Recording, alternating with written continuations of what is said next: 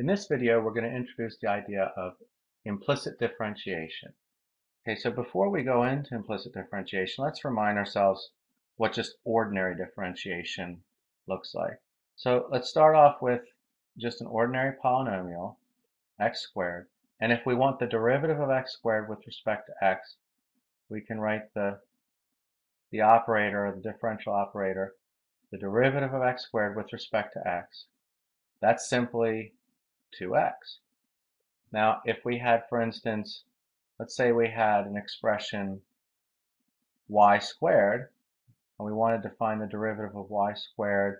Now, instead of with respect to x, but with respect to y, it's the same basic principle. Now we're taking the derivative of this expression with respect to y. The variables match up, so we just use the ordinary differentiation. Both of these are examples of what we call explicit differentiation, or just the ordinary derivatives. But this is an example of the explicit differentiation.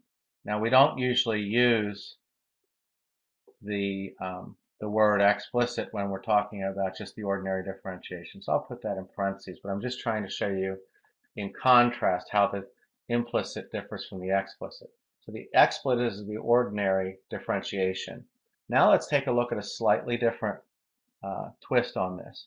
Let's say we wanted to take the same y squared term. Let's say we have y squared. But now, instead of taking the derivative with respect to y, we want to know what the derivative of y squared is with respect to x. So in this case now, y squared, it's implied, because we're taking the derivative with respect to x, that this is somehow a function, y squared is a function of x, but that's implied. It's not really explicit. It doesn't have x's in it like we had up here. So now we want to take the derivative of y squared with respect to x we're going to have to apply the chain rule. Chain rule says take the derivative of the outer function. So that's just the derivative of y squared. And we're going to do that the ordinary way with respect to y, just like we did here. So the derivative of this, just like it was an ordinary derivative, but then times the derivative of the function y. So if you think of this as a function squared, it's the derivative of the function with respect to y times dy dx. If we wanted to see whether or not this makes sense, you could in effect cancel the dy's because they're small, but they're not they're not zero, but they're very, very, very small values. And we'd end up with what we started with, dy squared dx, which is what we started with. But we don't really want to cancel things out. We want to leave this in some, effectively in an expanded form because we're trying to apply the chain rule. And with the chain rule, we don't want to simplify by canceling out dy's. We actually want to find the derivative of y squared with respect to y. Well, we have that up here. That's just 2y. And then dy dx can't be simplified any further. That's just dy dx.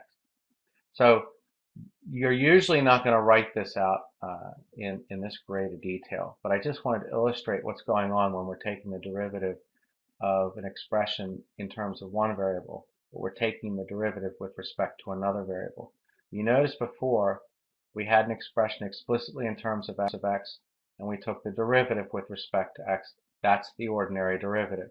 Even if we don't have x's, let's say we now have y's, and we have just y's and we're taking the derivative with respect to y, that's the ordinary derivative. We just apply the power rule and we're done. It becomes an implicit differentiation if we have an expression that has y's or x's and y's and we're taking the derivative with respect to another variable. So let's let's give ourselves one more example to illustrate this, uh, and then we'll wrap things up. So let's let's make this a little bit more uh, let's, let's open this up a little bit more. So let's consider the, the, the expression x squared times y squared equals 3. And now we want to apply the differentiation. We, let's say we want to find dy dx. So we're going to take the derivative of both sides with respect to x. So we're going to apply the differential operator, the differentiation operator, to both sides with respect to x. The derivative of x squared times y squared. And then on the right side, the derivative with respect to x of 3. Okay, well the derivative of 3 with respect to x, that's just 0. So that's, that's simple. On the left-hand side, though, we're going to have a little bit more work to do. We have the derivative of the product of two expressions, so we're going to have to apply the product rule. So let's go up here.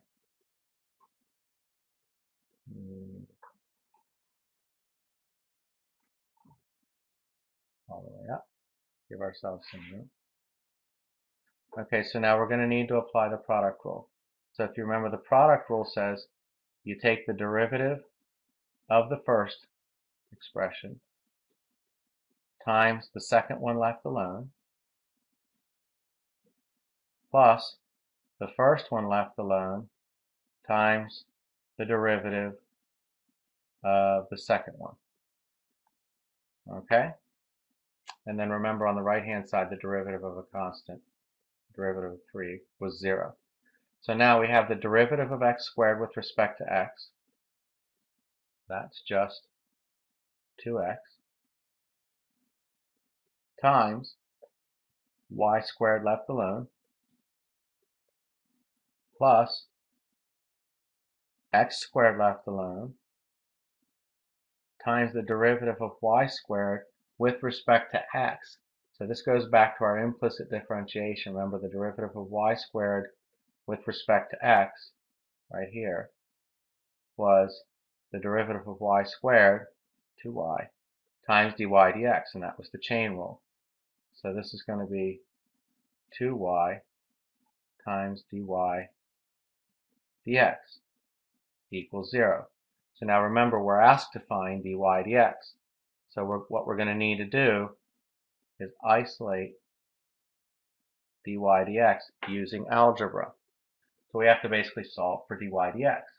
Well, that means we're going to need to get everything else onto the other side of the equation. So we'll start by subtracting 2x times y squared on both sides.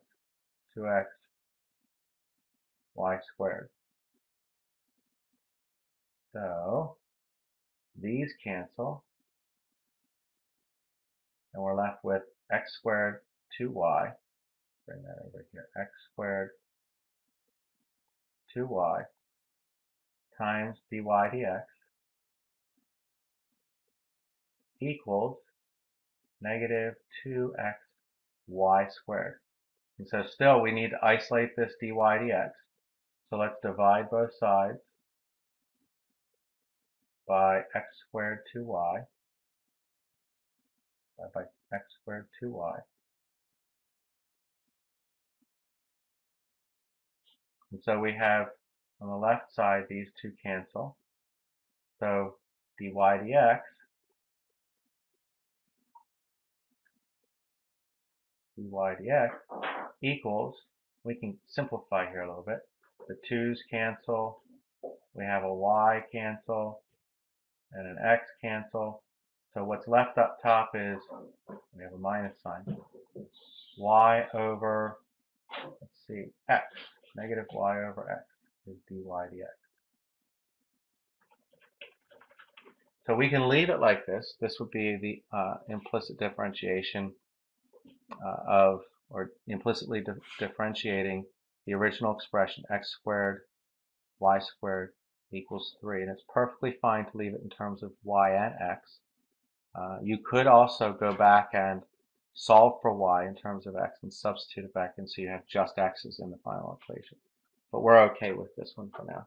I hope this helps, and I'll see you in the next video.